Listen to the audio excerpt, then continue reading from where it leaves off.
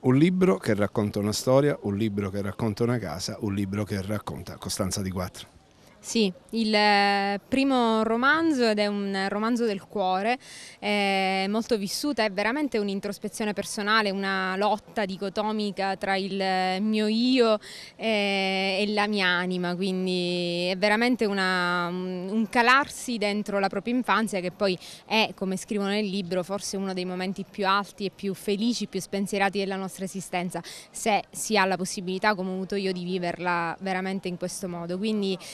è stato davvero un, un, regalo che ho fatto a me stessa, spero di averlo fatto anche alla mia famiglia, all'onore dei, dei, miei nonni che in qualche modo sono un po' protagonisti di, questa, di questo viaggio eh, meraviglioso che è quello di una bambina che, che rivive e rivede la, la propria infanzia in una casa